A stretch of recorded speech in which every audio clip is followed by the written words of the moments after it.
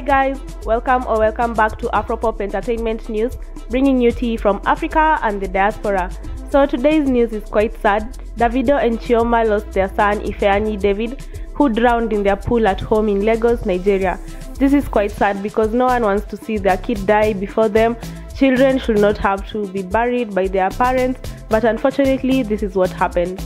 Turns out that Davido and Chioma and all their eight employees were busy or something because the kid managed to go to the pool and he ended up drowning. And it was only after some time that they found him there. This is so unfortunate. My prayers and my thoughts are with Davido and his family, and I hope that they will soon feel better. I know this might never go away, but I'm just praying for them. So many celebrities came forward to say a lot about this. Oh, Omojua was saying love and prayers to Chioma and Davido, love and prayers to both their families. May they not know this sort of pain and tragedy ever again.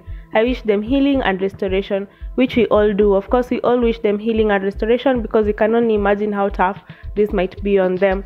So, the Niger also reported that the police has reportedly arrested all Davido's domestic staff over son's death. What do you think about this? Do you think this is the correct move for Davido? Right now, we all know he's grieving and we cannot judge whatever he decides to do. I don't know if this is the correct move because at the end of the day, we cannot blame we cannot blame this is just unfortunate and at the same time the same argument can be made for Davido and Chioma if the employees were not there where were they where were the parents too because they're also responsible for looking after their son. But at the end of the day i hope davido knows that he has been there for his son he has been a good dad and that sometimes that's the most people can do. Please like share and subscribe and don't forget to watch these other videos. Bye